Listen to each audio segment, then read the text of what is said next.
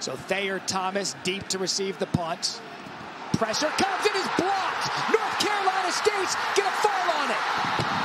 Touchdown, Wolfpack.